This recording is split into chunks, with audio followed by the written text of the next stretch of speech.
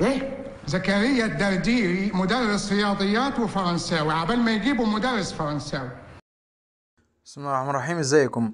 النهارده هتدخل الشمس في برج القوس وممكن نعرف الكلام ده من الضغط على sign and house changes اللي هو تغيرات الكواكب في البروج والبيوت. وندوس على الشمس اللي هي ال sun نختار الشمس ونختار sign and house changes هيقول لك إن الشمس هتدخل في برج القوس يوم 22 نوفمبر 2023 الساعة خمسة ودقيقتين بالليل. وخلاص الشمس هترتاح من برج العقرب. يعني خلاص يا أخي خلاص خلصنا من برج العقرب. لما الشمس دخلت هنا كده في العقرب برج القتل وبرج الموت قعدنا فترة كبيرة جدا الدنيا كلها دمار وقتل. آه، هنا كمان المريخ ما زال في برج العقرب ومجازر حصلت في فلسطين. كانت من أنجس الفترات اللي فاتت دي كلها. كانت من أوسخ الفترات اللي ربنا خلقها. هي الفترة بتاع نوفمبر والفترة بتاع أكتوبر. فترة زبالة أزبل فترات الكوكب. ازبل الفترات. اللي الواحد آه، مشي فيها. آه، العقرب بيظل هو برج القتل وبرج الموت والمجازر والمذابح والأسلحة والمش عارف وال وال والخراب والدمار اللي حصل في فلسطين. وما تنساش تقول الله يلعن الحمساويين ويلعن العيال بتوع آه، المقاومة وما المقاومة. جابوا لنفسهم الدمار وجابوا لنفسهم الخراب وجابوا للشعب الفلسطيني الدمار والخراب. وعدد الدمار اللي حصل في فلسطين أكتر من من الأرباح وأكتر من المكاسب اللي كسبوها. اتدمرت غزه وهتحتاج إعادة إعمار غزه كالعادة. كل شوية يعملوا الفيلم بتاعهم ده إعادة إعمار غزه هم عندهم كل سنة يهدوها ويبنوها. ناس ما بتزهقش. هم معجبين بالموضوع ده. فكانت الفترة اللي فاتت هي فترة زبالة. يعني أنا ما شفتش فترة أزبل من الفترة اللي فاتت دي في حياتي. كانت أسوأ أسوأ أسوأ فترة مرت عليا الفترة اللي فاتت دي كلها. فترة سيئة جدا جدا بكل ال- المقاييس وبمعنى المقاييس وأخبار الحروب وكشم أخبار الحروب وكشم الصهاينة وكشم الأمريكان وكشم آه، آه، حسن نصر الشيطان. استحى على وجهك يا ريال يا مينون أيوه أنت مينون وأنا كلهم ميانين. طب والناس يا ريال جينا في نص الكلام وكسكسنا.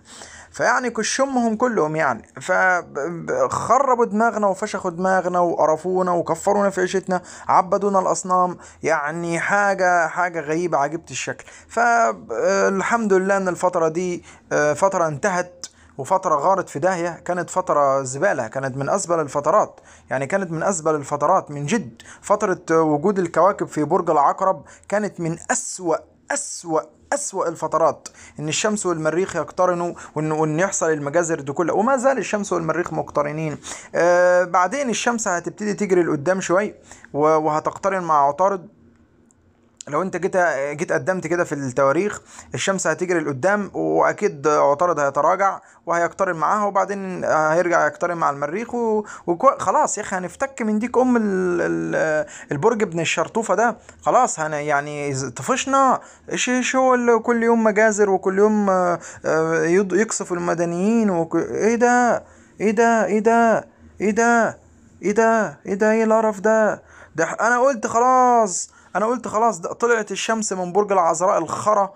دخلت في برج الميزان 7 أكتوبر. أوه قامت قامت الحرب بتاع العيال الحمساويين والعيال بتوع بتوع المقاومة. كل كل سنة ليهم مصيبة. الله يلعنهم. كل سنة ليهم مصيبة. كل سنة كده ليهم فيلم ازرق في أيامهم سودة ايامهم أيامهم دمار. ودلوقتي بيعضوا الأرض عشان عشان ياخدوا هدنة خمس أيام. آه، طالما إن أنت مش قد العدو لا تدخل في حرب آه، غير متكافئة عليك اللعنة وتورط الشعوب معاك وتجيب لنا أخبار سلبية. الله يلعن أخبار الحروب يلعن الحروب ويلعن اللي بيحاربوا. أسوأ شيء أخبار الحروب. يحرق كشم المنطقة اللي إحنا في فيها في الشرق الأوسط. كلها حروب كلها ملاعين والدين كلها ملاعين مجمعة. كلها كلها بيحارب بعضيها كله بيحارب بعضيه. لعنة الله عليكم أجمعين. الكل يحارب الكل والجميع يحارب الجميع. يعني موت. تمشي هنا موت. العراق موت. ليبيا بيقتلوا في بعض. هنا بيقتلوا في بعض. السودان بيقتلوا في بعض. اليمن بيقتلوا في بعض. الله يلعنكم لعنة عاد وثمود. لعنة الله عليكم أجمعين. إيش ده؟ تروح في لبنان مذابح. تروح في فلسطين مذابح. تروح مش عارف في سوريا مذابح. يخرب بيوكم منطقة فقر. منطقة فقر. يمين بالله إنكم منطقة فقر. المنطقة بتاع الشرق الخرا اللي إحنا فيها دي. فإيه القرف ده؟ إيه الفترة بنت الشرطوفة اللي فاتت دي؟ يعني أنا قلت إن الشمس طلعت من العذراء وبعدين الشمس دخلت في- الميزان وبعدين دخلت في العقرب. يا دين أمي. يعني إحنا دلوقتي من يوم 7 أكتوبر لحد آخر يوم في العقرب شهر وهو وأكتر طبعا. آه، يعني خلاص يعني سبعة آه، سبعة ديسمبر الجاي هيكون آه، شهرين. هيكون كده شهرين 60 يوم. يعني 7 ديسمبر الجاي هيكون شهرين. انت بس امشي كده قدام لحد يوم 7 ديسمبر 7 12 خلاص كده هيكون شهرين آه، في الحرب. وبرضه ما زال المريخ ابن الشرطوفة مقترن مع الشمس بنت الشرطوف. برضه ما زال الخرا هو هو. يا جماعة طب إحنا عايزين آه، آه، فترة هدنة ولا فترة زفت سلام ولا فترة خرا على دماغكم ودماغ اللي جابوكم؟ بيقولوا إنه في هدنة أهو. بيقولوا إنه في الزهرة دخلت في الميزان. ها في هدنة خمس أيام. لعنة الله عليكم. هدنة خمس أيام مش مش تسوي الخمس أيام وبعدين يرجعوا يدكوا في بعض تاني. طب أنت ليش تدخل حرب بدون دفاع قوي؟ إيه إيش تقول؟ إيش تقول؟ إيش تقول؟ إيش ت- فترة من أسوأ الفترات أنا ما ما مر علي فترات أسوأ من كده. حتى ال 21 يوم هم حاربوا قبل كده يوم 11 مايو 2021 برضو دي كانت فترة كانت فترة مجازر وكانت فترة مذابح يا عم اسكت لعنة الله عليكم. ما مالكم علاقة بالحروب يا ملاعين الوالدين؟ مالكم علاقة بالحروب؟ إيش دخلكم أنتوا في الحروب؟ تحاربوا. وش وش ليكم أنتوا تحاربوا؟ ما مالكم علاقة بالحرب. ما عندكم دفاع قوي. كيف تحارب بدون دفاع قوي؟ ما يحمي المدنيين ويحمي المستشفيات ويحمي المدارس آه، الصهاينة بيدخلوا يقصفوا آه، المخيمات ويقصفوا المدارس ويقصفوا المستشفيات ويقصفوا. طالما مش قادر تحمي شعبك لا تحارب يا ملعون الوالدين. فتلاقي ملاعين الوالدين كل سنة والتانية هم مشعلين حرب ملاعين الوالدين كل سنة والتانية هم مشعلين حرب. ملاعين الأبهات والأمهات كل سنة والتانية هم مشعلين حرب. يعني لا ده كمان الكواكب دخلت هتدخل في القوس. يعني القوس هو, هو, يعني القوس ده هيأجج صراعات دينية كمان. يعني يعني الله يستر. يعني إحنا خلصنا من الإبادة. ال- ال- الجماعية والانتقام بتاع العقرب دخلنا في الحروب على أسس دينية القوس هو الدين وبالتالي الناس هت- هتدخل في حروب على أسس دينية مش اللي ليك آه، تدخل في حروب على أسس دينية. خلاص هتقلب حروب ثيوقراطية كده. ثيوقراطية ثيوقراطية دي يعني دولة ثيوقراطية. وبالتالي آه، الدولة ال- القائمة على أسس دينية هتحارب الد- الدولة التانية اللي اللي قائمة على أسس دينية. وهتبتدي تحصل آه، يعني تحصل آه، يعني صراع ما بين أتباع المذاهب. يعني مثلا مثلا ممكن تلاقي المسيحيين في لبنان ماشي بيتخانقوا مع حزب الله الشيعي في لبنان مثلا. اهو دول طائفتين دينيتين اهم يتخانقوا مع بعض فجأة كده يرفعوا السلاح على بعض. الناس اتجنت في دماغها. تلاقي العيال الخوارج بتوع منطقة إدلب العيال بتوع آه، شو اسمه ده جبهة النصرة بتاع الولد الجولاني عليه اللعنة والعيال التانيين بتاع جبهة النصرة والعيال الدواعش التانيين دول وش اسمهم؟ وبرضه يتخانقوا مع آه، ال- ال- ال- السوريين. طب وبعدين؟ وبعدين في المنطقة الخرا اللي إحنا عايشين فيها دي المنطقة اللي كلها حروب وكلها قرف دي. وبعدين يا جدعان؟ حاجة تقرف. تفتح الأخبار حروب ومجازر وأنقذوا غزة وغزة تحت القصف وافتحوا المعابر وأنقذوا وبتاع طب أنت ليه بتروح تضربهم؟ ما حد ما حدش من الجيوش العربية يروح يحارب معاك. ما حدش من الجيوش العربية خالص ال 22 دولة هيروح يحارب معاك. خلاص. عرفت. ولا أنت أنت لسه بتتأكد من الموضوع؟ يعني أنت لسه محتاج تأكيد إن ما حدش من الجيوش العربية ال 22 ولا ال 21 هيخش يحارب معاك؟ انت لسه بت يعني لسه بتفكر في الموضوع؟ انت انت يعني انت ما تعرفوش؟ يعني العيال الحمساويين الانجهز ما يعرفوش؟ يعني العيال بتوع المقاومة والمقاومه وفصائل المقاومة الصواريخ البومب اللي بيضربوها دي هم ما يعرفوش؟ عارفين كل حاجة عارفين كل حاجة.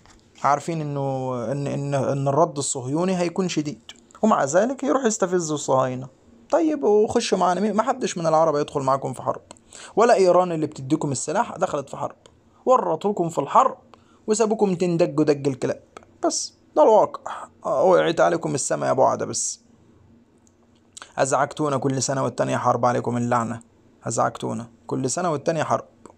كل سنة والتانية حرب. كل سنة والتانية حرب. ما طب أقعد شوي. يعني جمع سلاح وجمع دفاع جوي وبعدين ابقى أروح حارب. لا كل سنة غرم غزة تحت القصف. كل سنة في رمضان. غزة تحت القصف.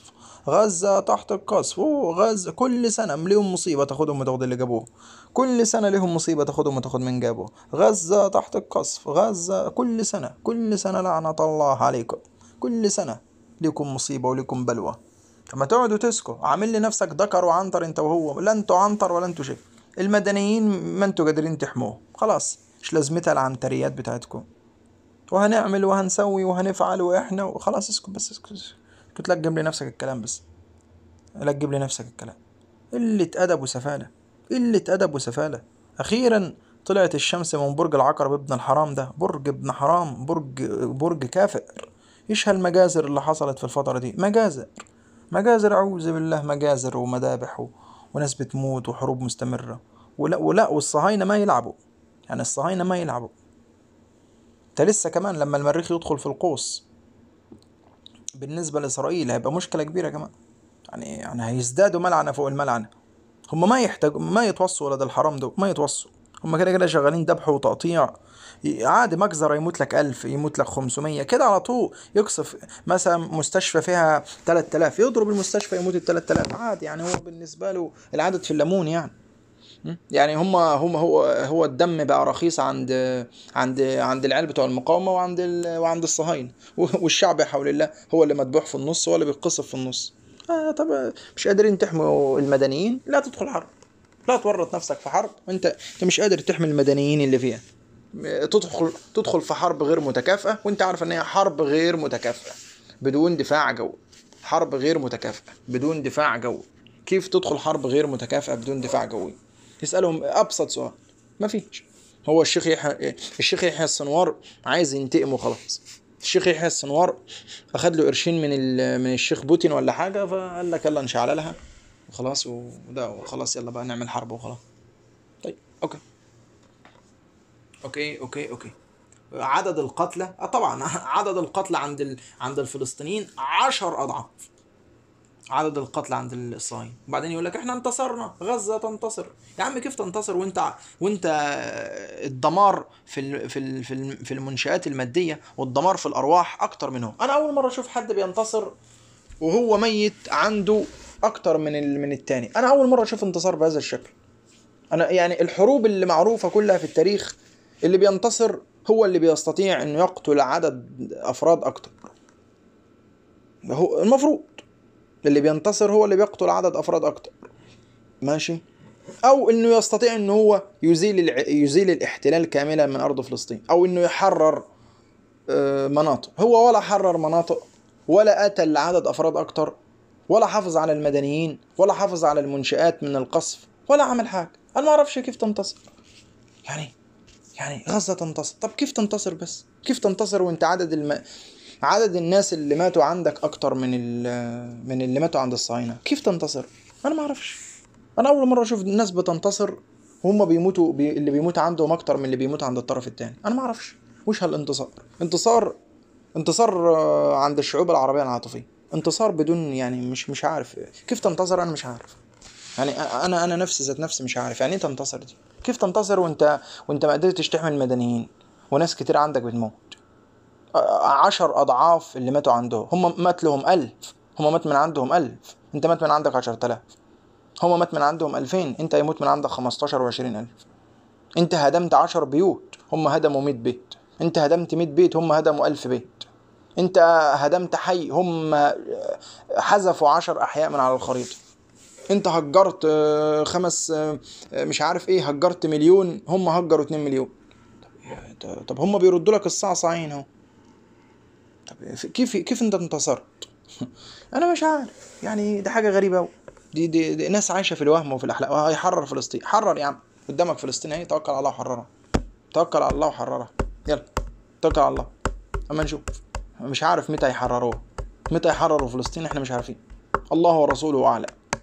هل بيجي يوم يحرروها؟ والله نتمنى. بس بالشكل ده يعني بالشكل ده لو هتتحرر هتتحرر بالهجرة العكسية أكتر مما هتتحرر بالشكل ده. فيعني كانت فترة سيئة أسوأ الفترات. فترة سيئة سيئة جدا. فترة سيئة يحرق كش أمكم جميعا. فترة سيئة من أسوأ الفترات. فترة كابوس إحنا في كابوس. يعني حرفيا إحنا في كابوس. حرفيا إحنا في كابوس. بهذا الشكل. يعني حتى الفترة اللي, اللي كنا فيها الفترة الفترة بتاعت الفترة بتاعت بتاعت الحرب الحرب الأهلية السورية. كانت نفس النظام كده. كانت فترة ألعن من الفترة دي الحرب الأهلية السورية. برضو كانت فترة ألعن من الفترة دي كده. بس دي كان امتدت سنين ومعاناة والناس هاجرت برا البلد. آه. ما تفهم. يلا معلش.